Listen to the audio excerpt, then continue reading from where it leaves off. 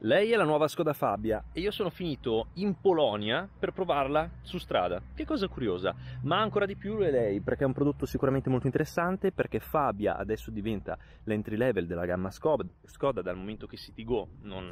uh, non esiste più, non, non viene più uh, venduta. Una Fabia che è molto interessante perché rispetto alla generazione precedente che utilizzava ancora la piattaforma antecedente all'MQB uh, porta in dote su questa quarta generazione la piattaforma appunto MQB nella declinazione, nella, de- nella derivazione a zero, che è quella per le vetture di segmento B o tendenzialmente uh, tutte quelle macchine che le riconoscete perché hanno ancora il freno a mano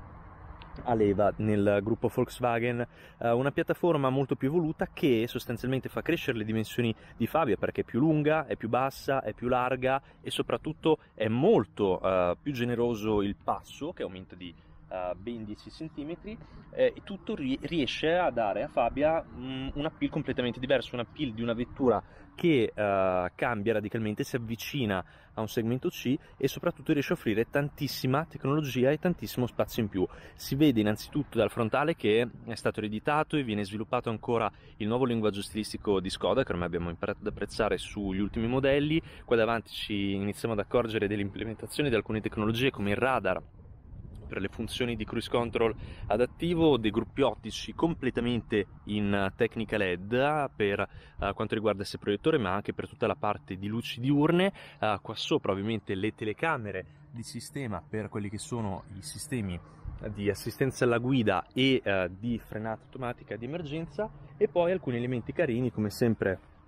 Uh, le frecce qua integrate direttamente negli specchietti e uh, altri dettami stilistici molto particolari come ad esempio i gruppi ottici qua dietro che cambiano tantissimo vanno ad allinearsi con quelli che sono appunto i nuovi dettami uh, di Skoda il lettering del marchio sul portellone del bagagliaio e poi ovviamente tantissime altre chicche a partire appunto dallo spazio. Spazio che migliora in ogni dove. Guardate quanto è grande il bagagliaio ma ci arriveremo tra poco. E guardate soprattutto quanto diventa generosa la parte posteriore uh, della vettura che riesce ad accomodare um, in totale 5 uh, occupanti di cui 3 sulla panca posteriore e guardate un po' quanto è generosa la bocca di accesso. Considerando che si tratta di una vettura di segmento B direi che non è decisamente niente male eh, come sviluppo di questa vettura ma andiamo a vederla un attimino nel dettaglio. Lo stile l'avete già visto uh, già nel video della statica. Andiamo a rivedere un po' alcune caratteristiche che mi piacciono molto a livello tecnologico di questa vettura, che sono sicuramente una volta aperta uh, la portiera, il fatto che ci sono degli elementi stilistici molto ricercati, guardate ad esempio le maniglie per aprire la portiera, carino questo elemento, belle tutte queste forme geometriche della lavorazione del pannello porta, elementi morbidi soltanto in alcune parti, per il resto andiamo su materiali rigidi ma siamo allineati con quella che è la concorrenza. Um, guardate ad esempio anche lo studio di design per gli elementi delle uh, maniglie per andare ad operare la, la, la portiera e parte posteriore, posteriore, parte inferiore sempre in materiale uh, duro. Uh, molto interessante invece la cura che hanno dato al design di tutta la plancia guardate l'integrazione degli elementi di uh, design che vanno uh, fin dentro la bocchetta di reazione e qua guardate la cura del dettaglio del movimento. Sembrano piccole cose ma quando una vettura viene rivoluzionata bisogna stare attenti a questi dettagli. Il fatto che um, il controllo del, del devio flusso vada a scorrere virtualmente sull'elemento uh, di, di, design è sicuramente un piccolo accorgimento tecnico che fa capire che c'è stata attenzione per i piccoli dettagli, piccoli dettagli uh, che poi diventano macro dettagli come il quadro strumenti completamente digitale da 10,2 pollici uh, che va a sostituire ovviamente tutti i uh, quadranti analogici andiamo anche ad accendere la vettura che così vedete un po' quali sono le grafiche? Classiche Skoda con uh, le varie tacchettine che mi vanno a segnare la temperatura del liquido del, di raffreddamento del motore e ovviamente la quantità di benzina presente nel serbatoio. Parte centrale che è dominata da uno, da, dallo schermo del sistema infotelematico che arriva fino a 9,2 pollici ed è in più dimensioni in teoria parte da 6 pollici e mezzo per passare dagli 8 pollici per arrivare a 9,2 all'atto pratico in Italia questa vettura viene portata non nell'allestimento base ma partendo da un allestimento intermedio. Di conseguenza la base uh, di questa vettura ha già un sistema infotelematico da 10 pollici che è comunque un sistema infotelematico di ultima generazione e che mi permette di avere tutte uh, le funzioni um, connesse che uh, questa piattaforma riesce ad avere, integrato ovviamente poi con la compatibilità con Android Auto ed Apple CarPlay, ma qua ci siamo. materiali nella parte superiore un attimino duri, altri elementi di design che continuano per tutta la lunghezza orizzontale della, della plancia, elementi in tessuto, poi ovviamente parte inferiore di nuovo in materiale rigido e uh, vedete insomma anche la lavorazione degli interni, il tettuccio apribile che si copre con questo elemento che si va a riporre poi nel vano uh, bagagli per andare a filtrare un po' uh, la, la, radiazione solare e vedete anche i sedili come sono lavorati comunque molto bene, un bel design, un, bel, un bello studio ergonomico, ovviamente con gli agganci ISOFIX e ovviamente con le regolazioni manuali del caso. Mm, vi volevo far vedere poi qua nella parte centrale sotto le bocchette della, del climatizzatore uh, la, um, il pannellino di controllo che c'è qua sotto che in questo caso è un bizona uh, molto comodo il fatto che ci siano i tasti fisici e um, c'è anche il riscaldamento dei sedili. Guardate qua sotto poi invece abbiamo altre soluzioni come il tappetino di ricarica wireless per i telefoni con standard Qi, il secondo, uh, la seconda clip per andare a stoccare le carte, mh, mm, che siano via card via dicendo, che come per tradizione Skoda c'è anche qua sulla, sul parabrezza, e poi anche un comodo portapenna, alcune soluzioni un attimino intelligenti. Io ho preso una versione con il cambio DSG, abbiamo leveraggio del cambio DSG, le varie modalità di guida, attivazione e disattivazione start and stop e ovviamente tutti i controlli per l'assistenza al parcheggio eh, che è automatizzata su questa vettura e su questa piattaforma, ma la vediamo più tardi, leva del freno a mano che non è elettronico. E poi elemento centrale che si trasforma in un vano portaoggetti con la possibilità di, di avere una presa a 12 volt. Cup holder, eh, spazio per riporre le chiavi insomma qua c'è bene o male tutto. Andiamo a vedere nella parte posteriore come si vive la vettura una vettura che eh, integra ovviamente qua ci tenevo di nuovo a farlo vedere tutte le soluzioni Simply Clever di Skoda ad esempio anche nella portiera abbiamo l'ombrellino è una cosa sempre molto uh, simpatica e che denota una certa cura uh, di Skoda per i dettagli. Uh, parte posteriore che va a essere sicuramente molto interessante. La qualità sulla portiera diminuisce un pelo perché tutto il pannello è uno stampato in plastica ma secondo me ci sta. Mentre a bordo guardiamo che ci sono alcune cose molto interessanti. Allora qua è dotata di alcuni optional che si possono ordinare per la vettura che costano davvero poco come ad esempio il supporto per un telefono tablet che si aggancia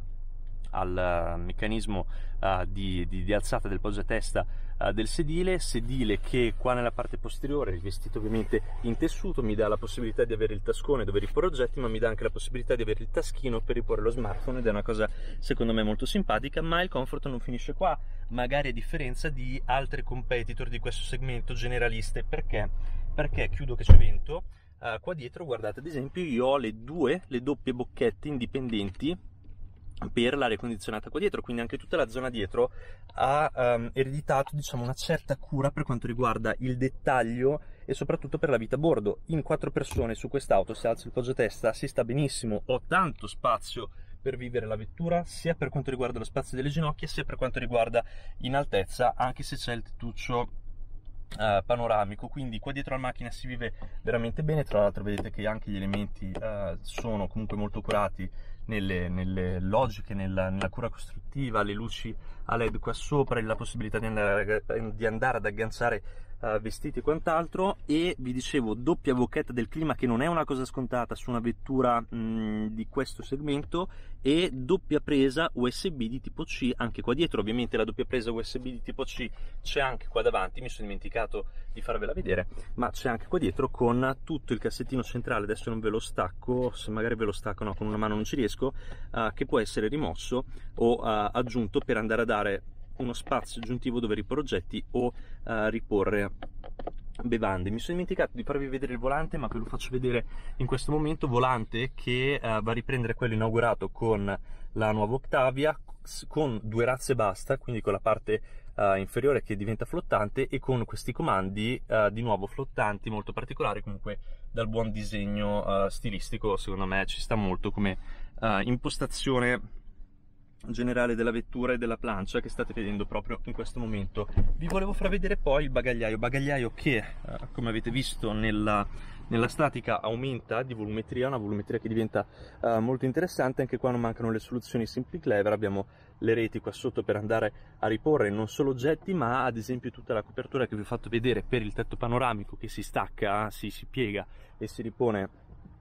qua sotto per non andare a mangiare spazio la cappelliera si può ovviamente uh, rimuovere, si può gestire come meglio si crede, adesso riagganciamola, abbiamo un sacco di ganci per andare a fissare oggetti, borse della spesa, sono soluzioni uh, che non sono così stupide e fanno veramente comodo nella vita di tutti i giorni, come ad esempio anche la possibilità di andare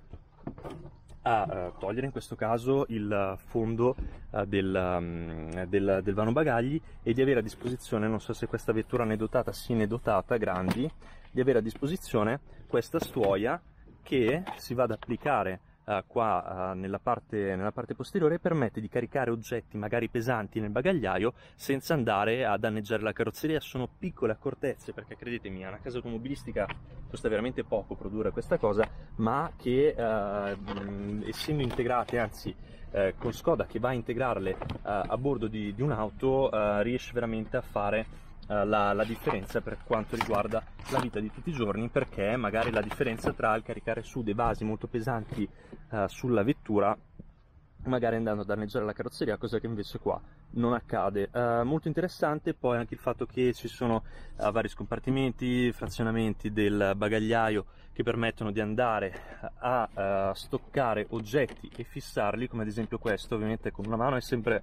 è sempre difficile andare a fare questo mestiere, però vedete anche questa mh, paratia mobile di cui io regolo l'apertura e vado a bloccarla per andare a fissare di nuovo oggetti, borse della spesa, vasi e tutto il resto, non farle ballare, insomma sono delle soluzioni secondo me simpatiche che vanno sicuramente a rendere onore a quello che è il DNA di Skoda per quanto riguarda le soluzioni Simply Clever a bordo delle vetture. Insomma, l'abbiamo vista un attimino più nel dettaglio dal punto di vista estetico e uh, funzionale. Adesso alla bene meglio rimetto tutto dentro, chiudo il portellone del vano bagagli e direi di mettermi alla guida, ma non prima uh, di avervi dato l'ultima informazione a livello di motorizzazioni, livello di motorizzazioni che per strategia del gruppo Volkswagen su questa piattaforma, quindi la piattaforma MQB0 non vedranno elettrificazioni ma rimarranno delle motorizzazioni puramente endotermiche. Ora, l'offerta di motorizzazioni endotermiche per l'Italia non mi interessa quello del mercato europeo, prevede che arriveranno i motori MPI aspirati, potenze 65 o 80 cavalli adatte ai neopatentati, Uh, con una base di listino, e intanto vi dico anche il prezzo della vettura così dopo tiriamo delle conclusioni rapide, con una base di listino uh, di 16.900 euro quasi 17, però attenzione, è un prezzo di listino ovvio che si porterà a casa un po' di meno e soprattutto attenzione perché non c'è la versione base della vettura, ma vi portate a casa già una macchina molto, molto accessoriata in Italia. E, um, motorizzazioni aspirate, motorizzazioni turbo che secondo me sono le più interessanti uh, con il 1000 3 cilindri che può essere abbinato anche al cambio automatico come in questo caso. Io ho una motorizzazione 1000 3 cilindri con potenze da 95 o 110 cavalli. Tra l'altro la motorizzazione scusate motorizzazione 1000 da 95 o 110 cavalli. Uh, motorizzazione 1000, 3 cilindri classico che conoscete del gruppo uh, Volkswagen, è un motore molto interessante dal punto di vista uh, tecnologico perché è l'ultima generazione di propulsori compatti 3 cilindri costruiti con uh, testa e basamento in lega leggera che permettono di avere ottime prestazioni e soprattutto consumi molto ridotti e ingombri uh, decisamente uh, ridotti nel, nel, vano motore. Sono dei propulsori che riescono a sviluppare comunque una buona dose di coppiage e bassi giri e permettono di essere abbinati. Poi soprattutto all'ottimo cambio DSG a 7 rapporti doppia frizione che vedete lì sotto. Che io vi consiglio se avete un po' di budget in più di mh, mm, sfruttare soprattutto sulle motorizzazioni turbo perché fanno muovere veramente bene una vettura e danno la possibilità di accedere a tutte quelle tecnologie di guida assistita uh, di livello 2 che rendono questa vettura di segmento B in realtà mh, una vettura molto completa, molto più vicina a un segmento C. Detto questo, direi che può anche bastare, mettiamoci al volante e vediamo un po' come si comporta su strada. E a bordo di Skoda Fabia mi sono ritrovato alla guida di una vettura che è cambiata radicalmente rispetto alla generazione passata ed è cambiata radicalmente rispetto alla generazione passata perché credetemi ci troviamo a bordo di una vettura completamente diversa, una vettura che è nuova, non c'entra più niente rispetto alla precedente soprattutto che è molto vicina a un'auto top di gamma perché abbiamo una suite tecnologiche di assistenza alla guida e di tecnologia alla guida che è la stessa dei segmenti superiori. Ad esempio vado a ingaggiare il cruise control adattivo con funzione stop and go e uh, il mantenimento della corsia, come vedete in questo momento l'auto al controllo del centraggio uh, della corsia e, uh, ed è una guida assistita di livello 2 che è la stessa che troviamo su segmenti superiori del gruppo Volkswagen che si comporta tanto bene mm, in quei segmenti tanto bene su questa vettura. Quindi quando si cambia piattaforma non è che cambia il telaio quindi è più rigido il telaio la macchina si guida solo meglio cambiando quello che voi intendete il telaio, cambia la piattaforma e la piattaforma è quello che dà la possibilità a una vettura di integrare questa tecnologia, quindi uh, la frenata automatica d'emergenza, il cruise control adattivo, il mantenimento della corsia, il sistema infotelematico di ultima generazione, la possibilità di avere sensoristiche in più, la possibilità di avere un sacco di cose, perché deriva tutto dalla predisposizione della piattaforma ad avere tali tecnologie. Cambiando piattaforma la macchina è completamente diversa, uh, cambia radicalmente, ve l'ho detto, non c'è soltanto ovviamente l'assistenza alla guida di livello 2 che è ottima, credetemi, difficilmente si trovano assistenze alla guida di livello 2 uh, eh, tanto buone quanto al pari del, di quella che può offrire il gruppo Volkswagen al momento, poi c'è il blind spot monitor, la frenata automatica di emergenza con riconoscimento dei pedoni, c'è la possibilità della vettura di avere un'ottima consapevolezza di se stessa all'interno dello spazio e questo rende Fabia una macchina che da segmento D proprio eh, apripista, aprigamma di Skoda diventa un'auto a sé completissima. Non diventa una sto rinunciando a qualcosa, ma io ho il meglio di tutta la tecnologia del gruppo nelle dimensioni più compatte possibili. Abbiamo questo, abbiamo poi il sistema infotelematico di ultima generazione, la possibilità di controllare la dinamica eh, di guida con i vari eh, profili che sapete vanno a tarare poi eh, le letture, le tarature, le mappature e via dicendo, e poi arriva il dolce. Hanno fatto un ottimo lavoro perché è una macchina che si guida molto meglio, sembra molto più leggera, molto più reattiva, il carico dei comandi e la taratura generale ovviamente quella di una vettura comfort assorbe benissimo uh, tutte le regolarità dell'asfalto e un ottimo comportamento dinamico perché riesce a garantire un'ottima sicurezza uh, alla guida con una, un'ottima tenuta anche in condizioni limite che questa è la chiave di lettura uh, della vettura. Parlando di motori, come vi ho anticipato fuori, in Italia arriveranno solo Uh, i 1000, gli MP aspirati 65-80 cavalli e uh, il 1000 3 cilindri uh, 95 o 110 meno male perché il 150 cavalli 4 cilindri turbo diventava un motore sportivo fin troppo sportivo per questa macchina e mm, usciva fuori da quello che era il focus della vettura mentre trovo il motore ovviamente più a fuoco eh, assolutamente il 1000 eh, 3 cilindri che è un motore eh, molto sofisticato molto parsimonioso riesce a viaggiare con una media chilometrica di 5 litri ogni 100 km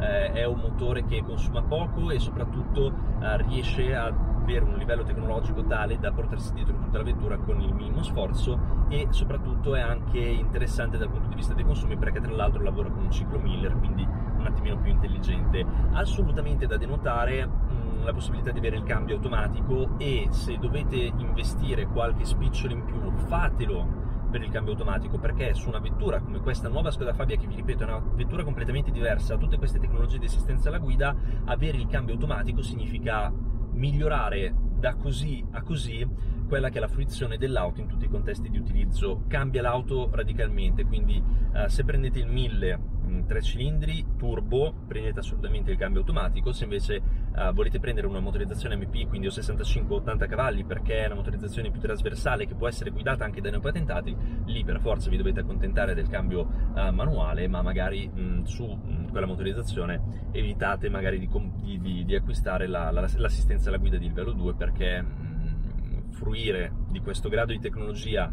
senza un cambio automatico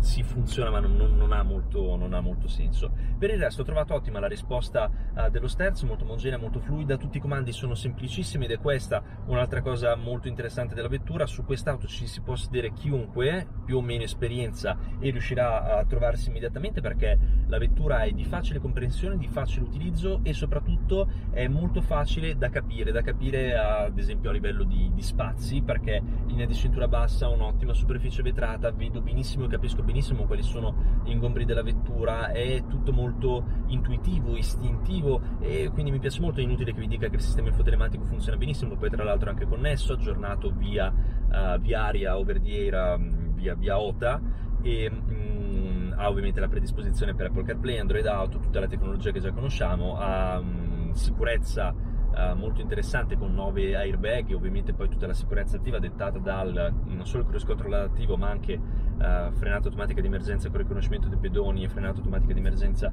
in varie condizioni, quindi è una vettura che mh, è anche molto sicura e uh, mi è piaciuta molto proprio per il fatto che